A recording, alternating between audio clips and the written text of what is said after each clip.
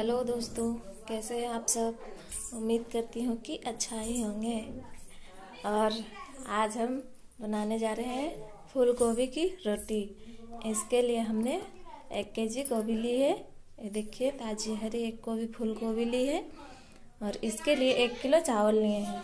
जो आप खाते हैं वही चावल है, बिल्कुल वही चावल। ये देखिए इसमें पानी डाल के भिगो देंगे, दो से तीन घंटा भीगने देंगे इसको। ये अच्छी तरह से फूल जाएगा। देखिए, हम गोभी को कटिंग करके अच्छे से धो लिए हैं। ये देखिए, और चावल को चावल से फूल के हम इसको पीस लिए हैं मिक्सी में। ये देखिए, चावल फुला के पीस लिए हैं। अब इसको, इस गोभी को हम सब्ज़ी बना लेंगे। इसके लिए हम एक प्याज रखे हैं। इसको कटिंग करेंगे छोटे छोटे टुकड़ों में। और तब तक मेरा इधर कढ़ाई गर्म हो रहा है। इसमें, ये देखिए, इसमें हम बिल्कुल सरसों ऑयल डाल रहे हैं देखिए देखिए, सब्ज़ी बनाने के लिए हम प्याज को कुछ इस प्रकार से कटिंग कर रहे हैं। देखिए, सब्ज़ी बनाने के लिए हमने प्याज कटिंग कर ली है और इधर हमारा तेल भी गर्म हो चुका है। ये देखिए, अच्छे से गर्म हो चुका है मेरा तेल। अब इसमें हम काटा हुआ प्याज डालेंगे।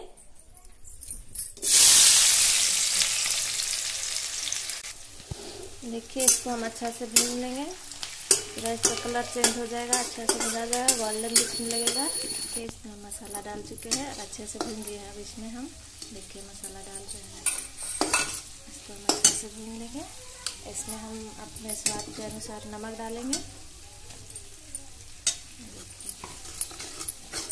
अब इसमें हम हल्दी डालेंगे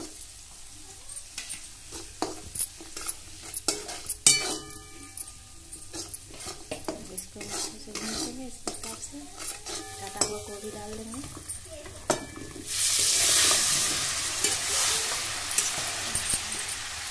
अभी रख दिया ताकि अच्छा से पक जाए। देखिए, हम सब्ज़ी में डालने के लिए हरी मिर्च को कटिंग कर रहे हैं। बिल्कुल ताजी हरी है। देखिए, अभी अभी खेत से लाए तोड़ के। कितना सुंदर देखने में लग रहा है, पूरा ताज़ा देख। अब इसको हम कटिंग कर रहे हैं।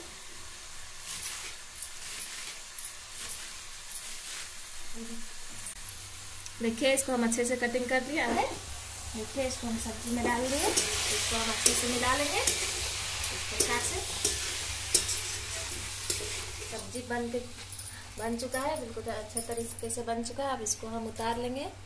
देखिए। देखिए। अब इसमें हम अपना पिसा हुआ चावल डालेंगे। ये देखिए, मेरा पिसा हुआ चावल। इसको हम इस सब्ज़ी में डाल देंगे, इस प्रकार से देखिए। अच्छे से मिला लेंगे।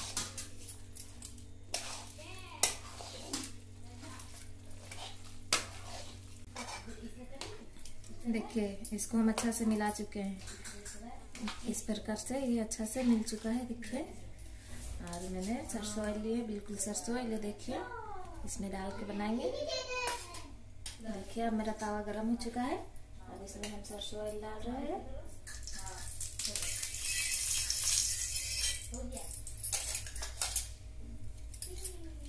देखिए इसको हम इसके मदद से अच्छा से बना चुके हैं इस तरह अब इसके ऊपर हम थोड़ा सरसा तेल डालेंगे, ताकि जब हम इसको पलटेंगे, अंदर से अच्छा से पक जाए। एक चम्मच हम डाल दिए। अब ये लगता है पक चुका है, अब इसको हम पलटेंगे।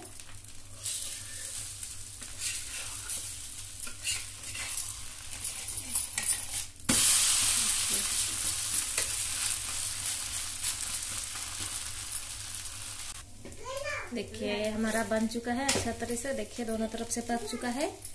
इसका कलर भी कितना अच्छा रहा है, ये देखिए, बन गया है। ये देखिए, मेरा गोभी का पराठा बन के तैयार हो चुका है। देखिए अच्छा से दोनों साइड से पक चुका है। देखिए, अब इसको हम टेस्ट करके बताएँगे कैसा बना है। देखिए, ये बिल्कुल बन के रेडी हो चुका है। और आज के लिए बस इतना ही। और आप मेरे चैनल को लाइक, सब्सक्राइब और आप भी इस तरह बना के ट्राई करके कमेंट में ज़रूर बताइएगा कि कैसे बना है।